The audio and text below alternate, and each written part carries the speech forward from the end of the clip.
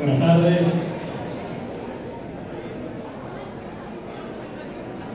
Bienvenidos. Un saludo muy especial a las autoridades aquí presentes, intendentes, ministros, diplomáticos, representantes nacionales. Me gusta siempre destacar que estamos en una institución señera que forma parte de la historia del país. Han 153 años de la fundación de la Del Uruguay. Me gusta recalcar estas fechas, 153 años. En esos 153 años, 111 exposiciones se hicieron en este predio. Desde hace 111 años, este es el predio, el lugar donde se juntan, como bien dicen, las ciudades del campo. Y esta es la exposición número 119, exposición internacional de ganadería y muestra agroindustrial y comercial Prado 2024. Vamos primero a compartir, a cantar el himno nacional. Les pedimos a los músicos, por favor, cuando quieran. músicos,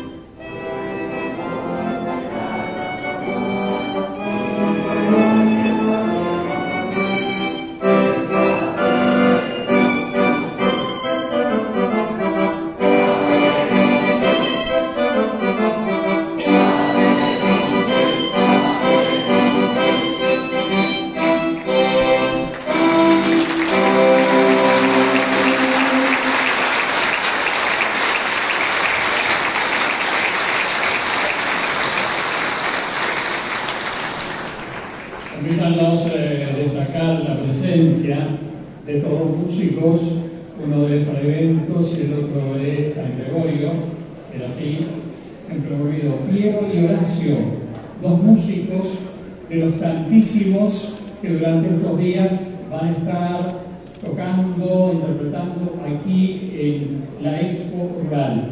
Y un detalle muy particular, porque Piero y Horacio, invitados por la Cámara Uruguaya Estados Unidos de Comercio, estuvieron en Miami hace unos días. Ellos estaban dando su toque, se dice ahora, su concierto en un determinado lugar, y en el salón de al lado estaba el señor Bill Gates, empleado y con los quiero conocer, al día no se pueden acabar con Bill Gates.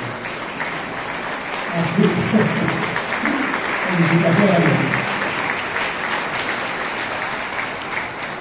nuestra música y nuestros músicos a tope, ¿eh? realmente.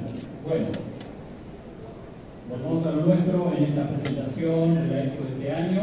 Le pedimos eh, la palabra al señor presidente de la Asociación Rural del Uruguay, ingeniero Patricio Cotabarriga. Por favor.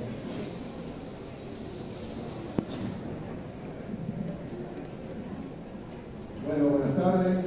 Juan Carlos está muy serio hoy, está muy solemne. La idea es hacer una partida más distendida, más, más, alegre, más divertida. Un placer estar acá, un agradecimiento enorme a todas las autoridades que nos acompañan, que son, que son muchas, el intendente con el que estuvimos este, almorzando también, Fray Mentira también, los, muchachos. Y bueno, simplemente una, una una responsabilidad muy grande con toda esa historia que contamos, que mencionaba recién, 119 exposiciones, 111 exposiciones acá, una vez más reinaugurando un balcón, número uno, no sé si lo pudieron ir a ver, pero realmente quedó muy lindo. Están llegando las razas para lecheras, van a llegar el lunes, pero ya tenemos parte de las razas de carne que están en el galpón, vale la pena ir a verlo. Y bueno, estos días me ha tocado un poco estar en el web radio, esperando este, este, inicio del comprado. Y te preguntan un poco, bueno, ¿qué va a haber en el comprado? ¿Qué, qué, qué puedes mencionar? ¿Qué puedes destacar?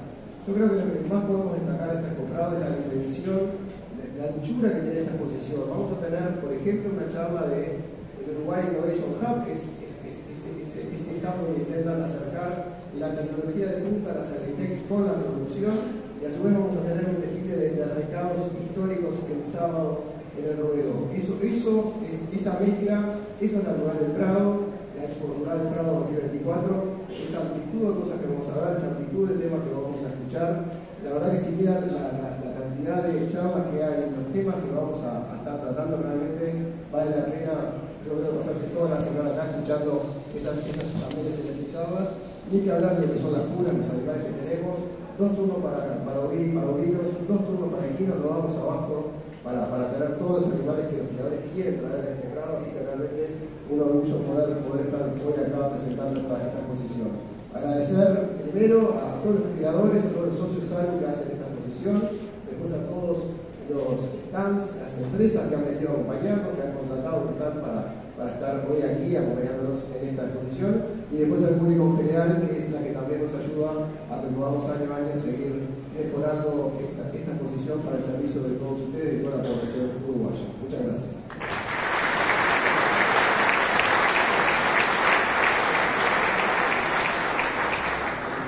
Inmediato le vamos a abrir la que outros.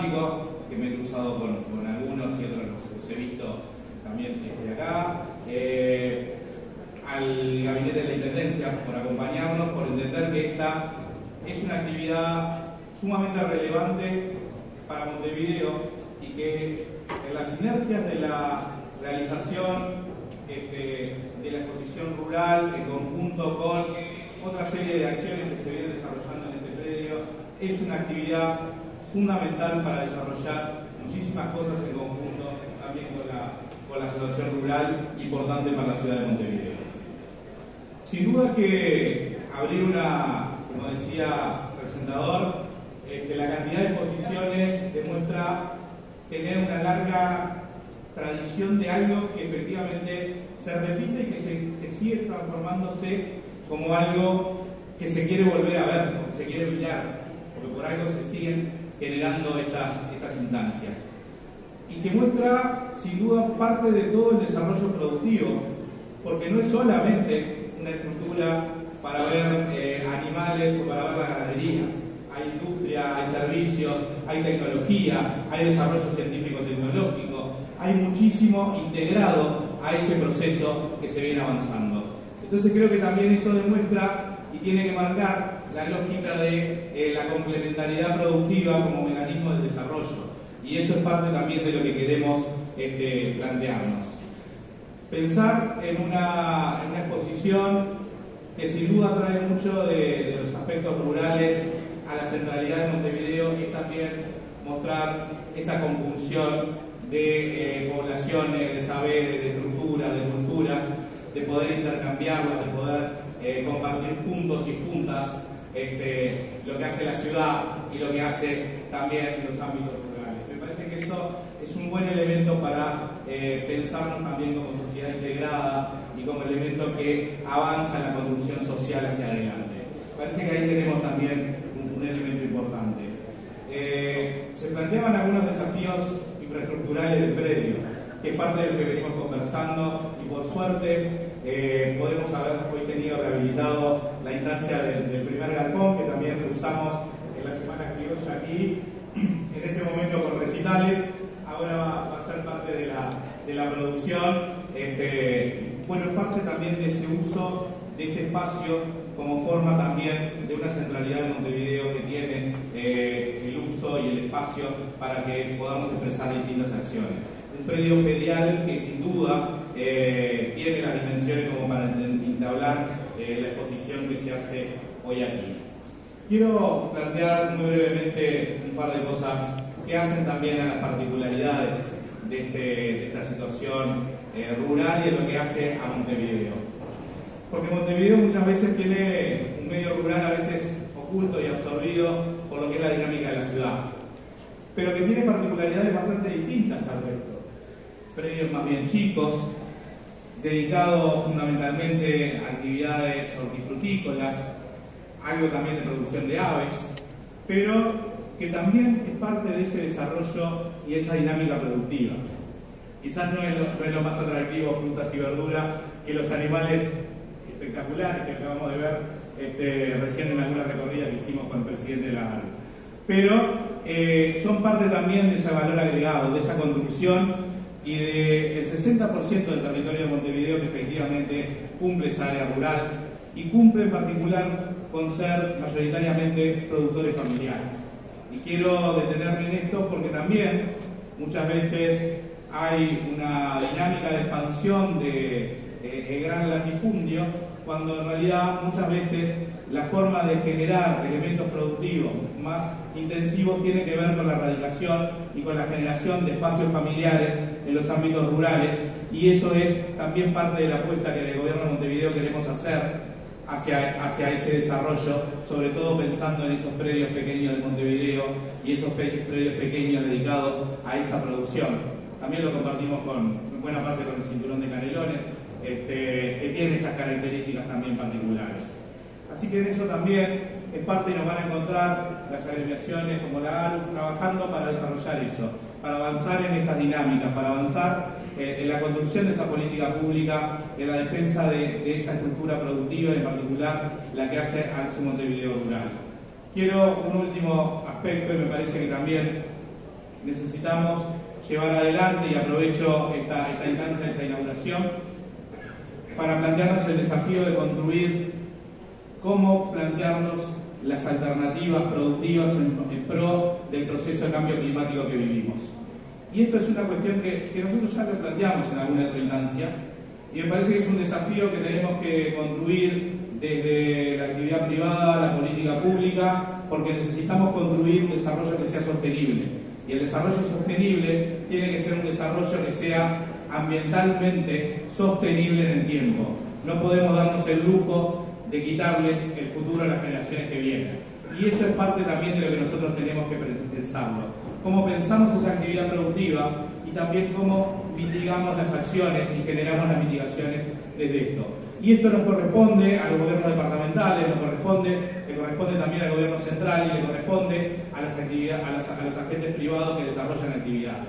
Creo que tenemos la necesidad de generar un compromiso que efectivamente elabore esa construcción para que también después podamos llevarlo adelante eh, en un marco conjunto y en un plan de desarrollo para construir un modelo productivo que sea sustentable y sostenible en términos ambientales. Necesitamos construir eso y creo que ese desafío también lo, traslado porque me parece que nos corresponde a todas y a todos en ese desarrollo. Trabajar para eso, que sin duda eh, van a contar con la Intendencia de Montevideo para el desarrollo de esa, de esa acción. Eh, sin más, agradecer por, ser parte de esta inauguración, este, invitarlas, invitarlos a, a disfrutar de esto, pero también a seguir construyendo una política productiva este, en pro de ese desarrollo que todas y todos queremos. Muchas gracias.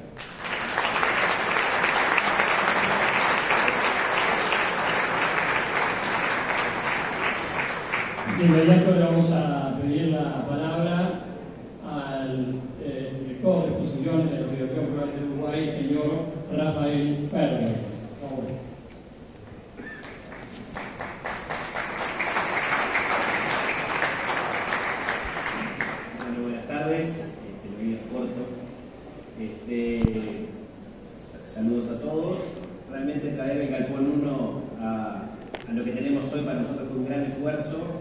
Seguimos por el 3, pero entendemos que la edición 2025, el galpón que tenemos a la izquierda, el galpón 3, ya esté en las mismas condiciones. Estamos la manera de seguir después por el galpón 2, y después seguimos con el palco, y después empezaremos a traer el resto del predio al siglo XXI y a poder desarrollarlo con la, con la Intendencia de Montevideo como, como gran socio de la mejor manera. Este, bueno, el patrimonio de estructuras, así de construcciones, se desarrolla sobre, sobre ladrillos, las exposiciones como la nuestra se desarrollan sobre personas. Así que un reconocimiento a los que la hacen posible y a los que ya no están. Muchas gracias.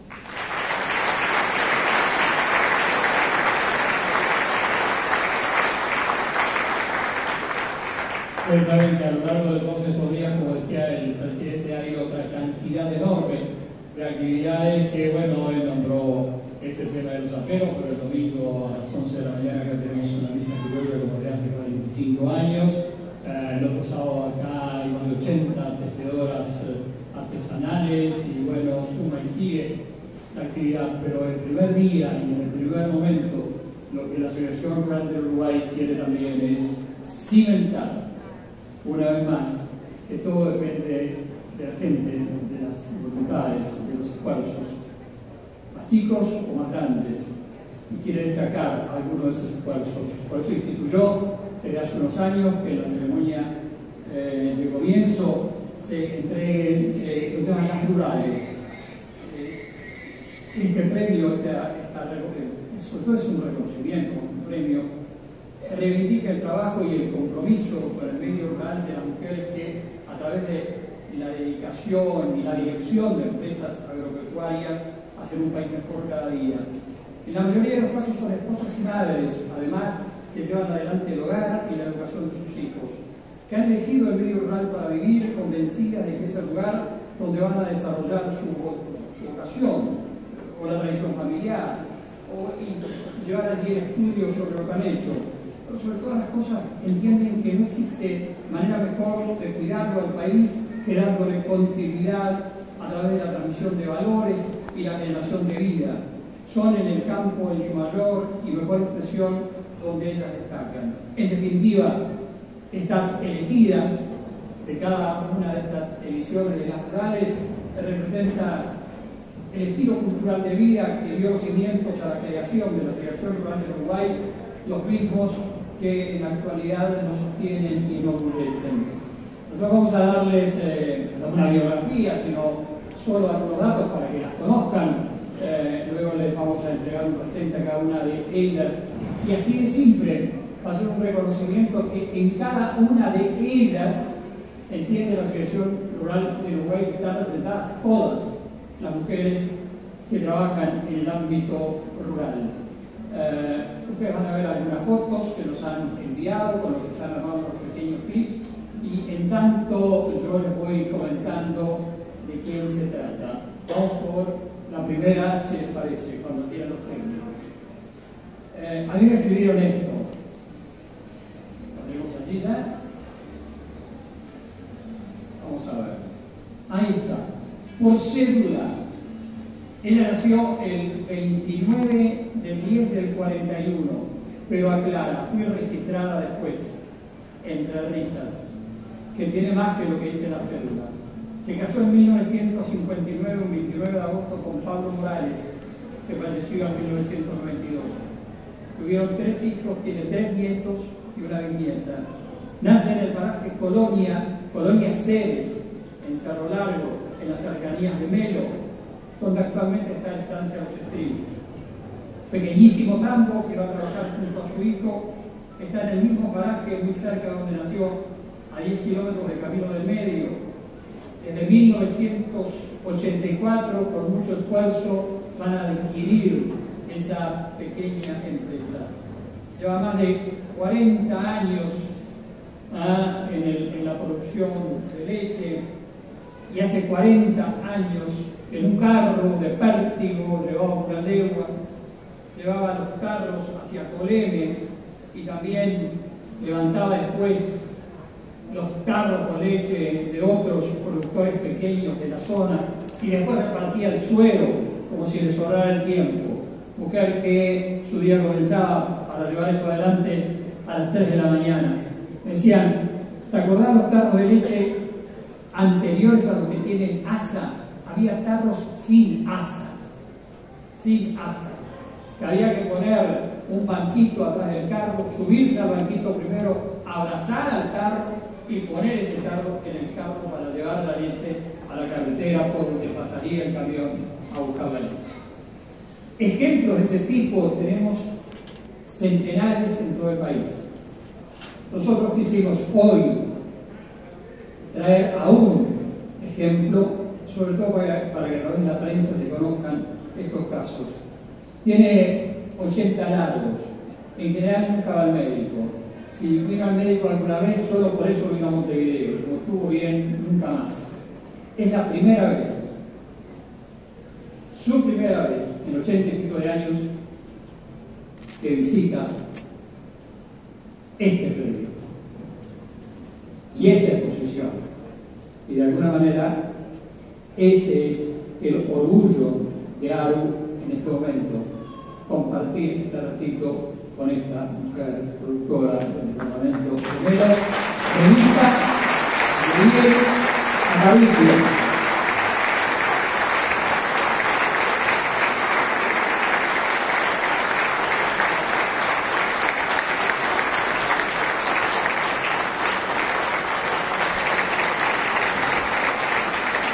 Amarillo.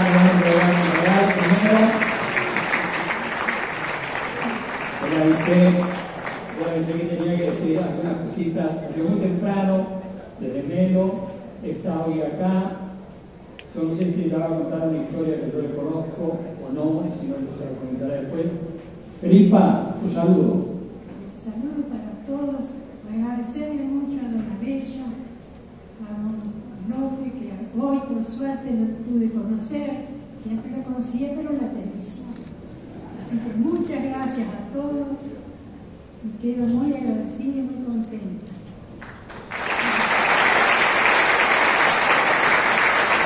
Evita, un más, quédate más. Déjame contar una historia, porque son cosas tremendas que a veces pasan y, no estamos enterados.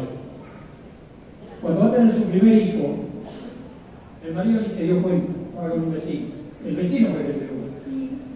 Eh, ya me enteré, que andaba medio acordado. La cuestión es que el marido se entera y dice, bueno, vamos y ella primero ido al gallinero, había agarrado una gallina, le había matado porque había que dejar la comida lista para cuando no estuviera, al marido.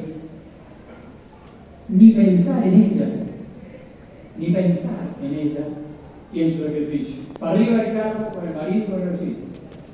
Pero no llegó a México. El hijo nació en el campo, cerca de la casa de la madre. Y cuando nos preguntamos cómo fue, me dice, nada, no nada.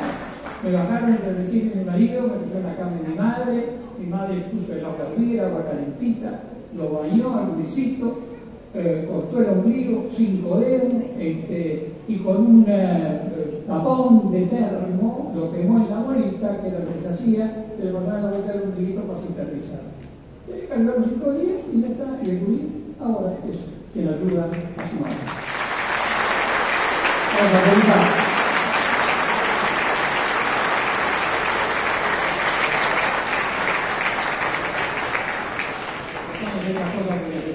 cuando uno tiene que hacer un pequeño esfuerzo más y dice, me duele la piel, o tengo tos, o tengo un poquito de fiebre y me voy a trabajar.